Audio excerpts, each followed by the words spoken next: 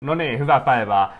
Päivää päivää. Tämän viikon Tech Talkissa me halutaan taistella kaksi ihan törkeä hyvää ominaisuutta. Nämä on semmoisia, mistä me ollaan ihan sairaan tyytyväisiä, koska näistä samalla tyylistä ei oikeastaan löydy muualta. Joo, ei, pysty, ei löydy tismalleen samanlaista. Ja nämä on tullut, kiitos tosi hyvästä asiakaspalautteesta, molemmat ideat. Okei, okay. lähdetään liikkeelle ensimmäisestä ominaisuudesta. Tiedättekö meidän osakevertailua? Me näytetään, mistä löytyy täältä. Jep.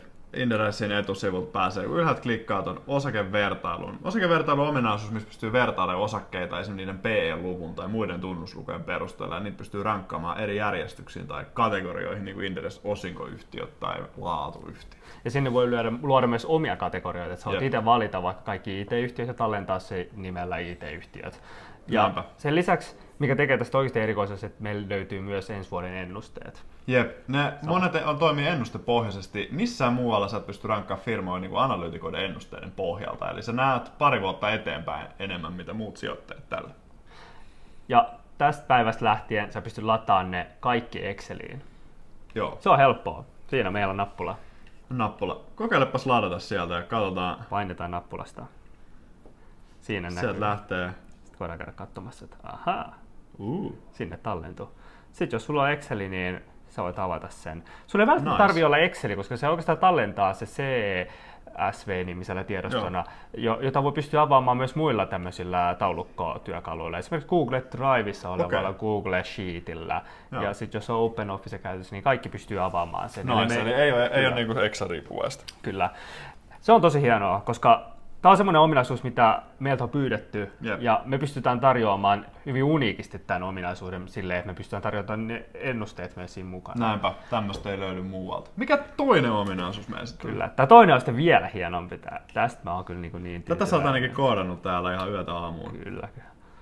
Semmoista, semmoista koodia on kyllä ollut. Elikkä. Interessin etusivulla näkyy. Joo.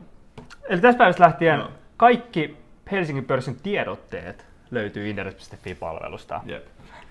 Ja muualtakin löytyy näitä tiedotteita, mutta miksi meillä on eri, erikoista on se, että me ollaan kategorisoidu ne teidän puolesta. Jep. Eli... Nyt on, kun, nythän on ollut härstävä tilanne, että katsotte niin tiedote feedeen, niin siellä tulee kaikki vaikka johdon osakkeiden muutokset, ja niitä voi olla tosi paljon per päivä. Niin täältä sä pystyt haromaan eri juttuja pois. Että on liputukset, johdon liiketoimet, pörssitiedotteet, kaikki erikseen omissa kategorioissa. Kyllä. voidaan tästä vaikka kokeilla, että jos me halutaan pelkästään johdon liiketoimet jostain syystä, niin siellä on, vähän, siellä on käyty Detection Technologies vähän muuttamassa omistuksia.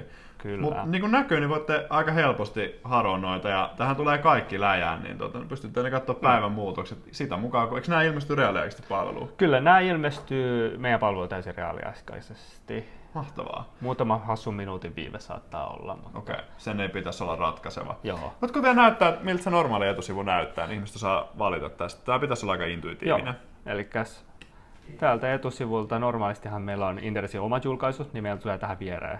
Jep. Kato mikä animaatio muuten. Aika hieno. Niin, niin nyt se viereen tulee pörssitiedotteet. Okei, okay, eli jos Inderesin jutut ei jostain syystä enää kiinnosta tai kyllästyttää, niin sitten voi katsoa pörssitiedotteita aina vaihteeksi. Kyllä. Mahtavaa.